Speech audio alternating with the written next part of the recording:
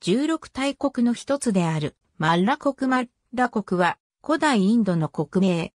仏教やジャイナ教の文献に頻繁に登場し、初期仏教の聖典、アングッタラニカーヤの中では、16大国の一つに数えられる。松ラ国。隣接するリッチャビ族などのバッジ国と修行して独立を保っていたが、後にマガダ国に併合された。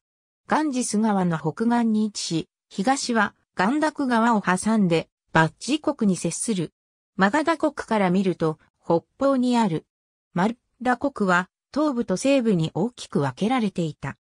ブッダはパーバーにおいて数からマッタバを食べて下痢などの症状を発し、そのまま歩き続けて、くしいながらに至り、そこにおいて入滅したと伝えられている。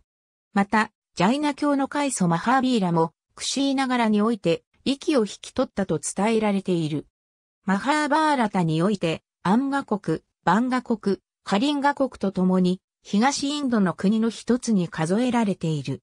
マルラ国は、マラ族の人々が中心的であり、その名がそのまま国名となっている。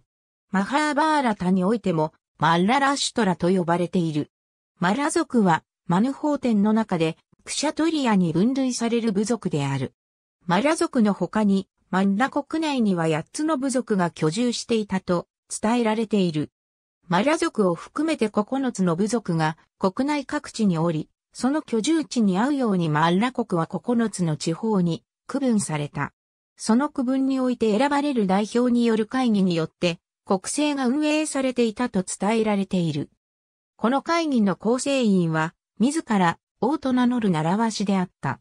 近年、このような古代インドの国家をガナサンガ国というようになっている。マルラ国においては、ベーダの宗教と並び、信仰の仏教やジャイナ教も広く信奉された。ありがとうございます。